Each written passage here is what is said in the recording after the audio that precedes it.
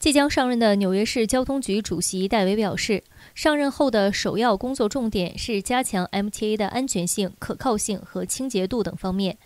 MTA 在工作日的载客量为新冠疫情前的百分之五十到六十，其中地铁每天的载客超过三百万人次，公交车每天的载客超过一百万。但由于 MTA 工作人员短缺，加上猖獗的犯罪和交通违规行为，导致部分乘客不再选择乘坐交通工具。即将上任的纽约市交通局主席戴维说：“每个乘客都应该拥有一个更好的交通系统，因此交通部门有责任提高工作效率，用更好的方法来开展业务，而且必须要投入更多资金，以达到市民满意的服务。”戴维说：“五月二日上任的首要任务是确保交通系统的安全，将遵循 MTA 已经实施的服务政策和策略，并加速发展得以更好的实施。”戴维曾任麻州交通部长和麻州海湾交通局局长，该局经营波士顿 T 型地铁。他最近也在波士顿资讯集团工作，为包括 MTA 在内的交通系统提供咨询。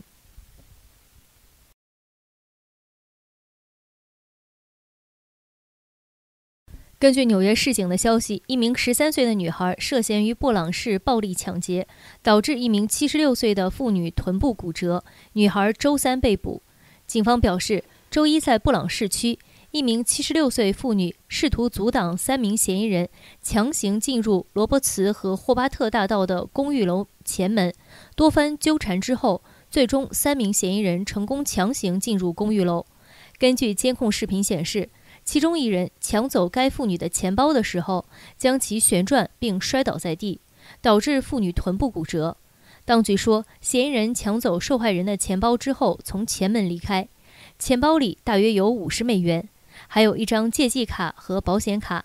调查人员周三通过监控视频确认，一名十三岁女孩为案件中的主要施袭者，被指控犯有抢劫罪。另外两名嫌疑人仍在调查中。有附近居民表示，从监控录像中认出其中一名嫌疑人是该社区的问题少年，但不确定是否该名十三岁女孩。受害人的儿子肖恩表示，这是令人震惊和心碎的随意暴力事件，其母亲可能将无法从这次的袭击中完全恢复。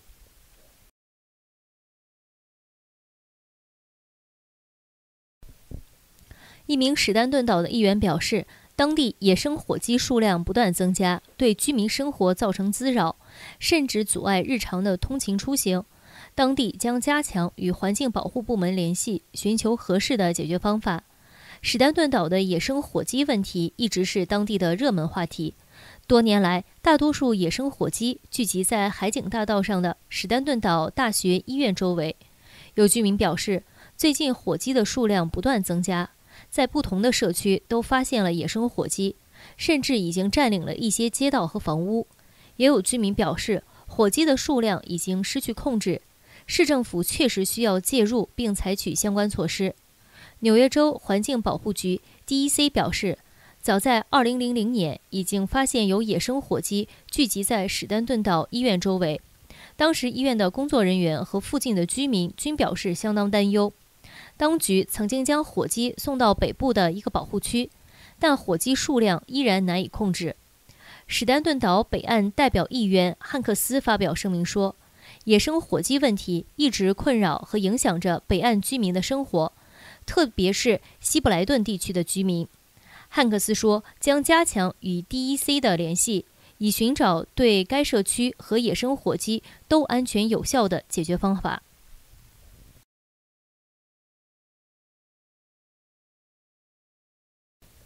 根据周三公布的一项民意调查显示，几乎百分之六十的纽约人认为，在纽约市以外的地区生活，其家庭会有更好的未来。政治顾问丰塔斯和民调公司 Core Decision Analyst 在周三公布了针对八百四十名注册的纽约选民进行的在线调查结果，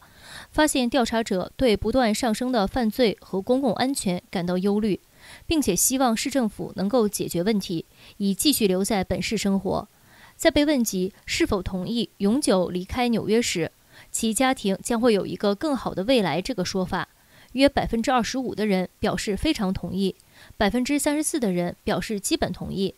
按人口统计，四十九以下的受访者超过百分之六十五表示在某种程度上同意上述观点，只有百分之四十九的受访白人表示同意。在非裔、西语裔和亚裔选民中，超过百分之六十的人同意。从地域上看，布朗市和皇后区分别有百分之七十和百分之六十五的人同意离开纽约市生活。在有孩子的家庭中，百分之六十八的人也认为在其他地区会有更好的生活。这项在线调查于三月二十八日至三十一日进行，误差率为三点四个百分点。